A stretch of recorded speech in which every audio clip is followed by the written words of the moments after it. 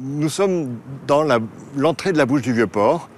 qui va être verrouillée sous Louis XIV en 1660 par deux forts qui vont être construits par le chevalier de Clairville,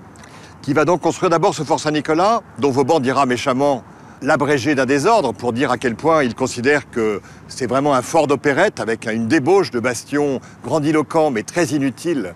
euh, puisqu'ils n'ont pas d'action vers la mer et une action très limitée vers la ville, puisqu'ils ne battent que vers Saint-Victor et, l'arsenal des galères. Et puis donc, le fort Saint-Nicolas euh, a fait l'objet d'une destruction totale par les Marseillais dès la Révolution française. Et c'est un jeune officier d'artillerie, Bonaparte, qui depuis Toulon a fait arrêter la destruction. Et donc, on voit très bien le fort Saint-Nicolas, cette euh, reconstruction au moellon, qui, n'est pas ce beau calcaire rose de la couronne, mais de moellon calcaire blanc, pour la partie supérieure qui a été reprise.